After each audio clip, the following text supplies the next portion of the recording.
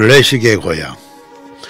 20세기 최대의 소프라노 마리아 칼라스 마리아 칼라스가 세상을 떠난 지 이미 수십여 년이 지났지만 그 명성은 모두의 마음속에 깊이 남아 있으며 칼라스는 오페라 가수의 대명사가 되었다.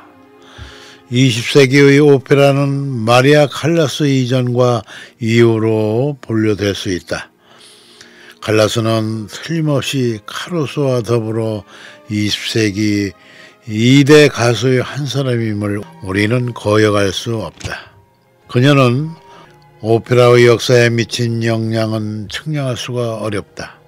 20세기의 어떤 가수보다 잊혀졌던 오페라의 부활에 공헌한 사람이다. 드라마에 대한 한결같은 신념과 창의적인 면에서 새로운 생명을 부여했다. 특히 오페라의 음악과 연극의 융합을 본래의 특질을 회복, 시켰다는 사실에 대해 회복시켰다는 사실에 대해 감사해야 할 것이다. 칼라스가 이탈리아의 베르나 음악제 야외 오페라에서 폰코엘리 작곡 조콘다의 대밤으로서 성공적 오페라계에 등장한 것이 1947년이었으니까 1964년에 녹음된 토스카의 전곡판을 녹음된 지 반세기가 흐른 오늘날에 와서도 높이 평가되는 전설적인 명판으로 인정받고 있다. 아, 인정받고 있다는 사실은 대단한 평가임을 자랑할 수 있다. 이미 오래전부터 알고 있었던 별은 빛나고만 노래에 살고 사랑에 살고 등 그 유명한 아리아는 물론 오페라 전체를 통해 들을 만한 장면이 많다는 것을 깨달았을 뿐 아니라 마리아 칼라소의 독특한 음성과 들어보지 못한 극적 긴 노래 속에 온몸이 소스라치며 끌려 들어가는 매력의 감동의 느낌을 잊을 수 없다. 그때까지는 소프라노 가수들의 목소리는 아름답고 부드러웠다고만 생각했다. 1920년대로부터 약 20년간 명성을 떨친 릴리 폰스를 비롯하여 세계 2차 대전 후에 등장하여 한때 마리아 칼라스의 나이벌로 놀라운 명 소프라노 레나타 티발디에 이르는 소프라를 가리켜 사람들은 천사의 목소리 위에서부터 아래까지 한결같은 미성이라고들 표현하였으나 그러나 마리아 칼라스는 결코 미성이라고 할 목소리는 아니다. 높은 목소리는 금속적인 예리한 음이 섞이듯 하였고 저음도 부, 부드러운 편은 아니었다.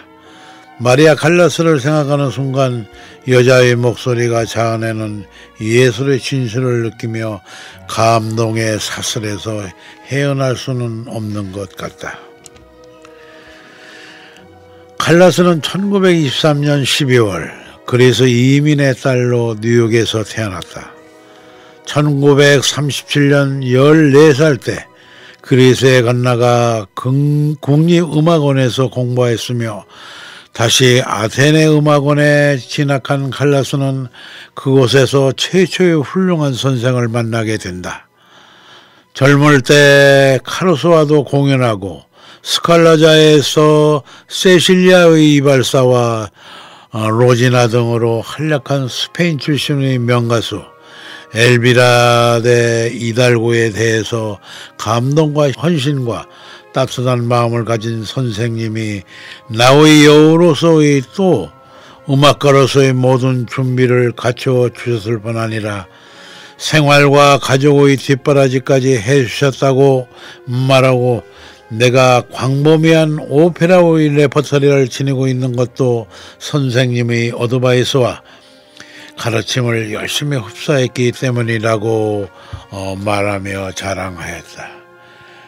칼라스가 1947년 베로나야의 오페라에 출연함으로써 유럽 오페라계에 성공적으로 등장했다는 것은 앞서 지적한 바 있지만은 그때부터 칼라소의 전설적인 활약이 시작된다. 그녀의 은사 이달고의 너의 장래는 이탈리아에 있다는 어, 말대로 오페라 가수로 이탈리아에서 세계 무대에 오르게 된 것이다. 50년 4월에 드디어 당시 유럽 오페라의 메카로 알려진 밀라노 스칼라좌에 데뷔한다. 칼라스의 명성이 세계적으로 알려진 것은 스칼라좌에서의 활약과 더불어 세라핀 지휘의 루치아로 세라핀 지휘의 루치아와 청교도에 이어 스칼라좌 음악 감독이었던 데 사바타의 지휘로 녹음된 토스카의 영향이 컸다고 할 수 있다. 칼라스는 그의 체중 조절 등으로 고생하면서 벨칸토 오페라의 여왕으로 조니 제티 등의 알려지지 않은 많은 유명작을 부활시켰을 뿐 아니라 명 배우로서도 군림하였다. 1950년대 후반에 그리스의 선박왕 오나시사와의 관계가 알려진 후 오페라 출연도 점점 줄어들어 1965년 코벤트 가덴 왕립 극장에서의 토스카가 최후의 무대였다. 갈라서는 20세기의 카로소와 함께 최대의 가수임이 틀림없다. 어떤 가수보다 잊혀졌던 오페라의 부활에 힘썼다. 오페라의 음악과 연극의 융합체로서의 본래의 특질을 회복시켰다는 사실을 부정할 수 없다. 20세기 최대의 여왕에게 감사한다. 시인한적입니다.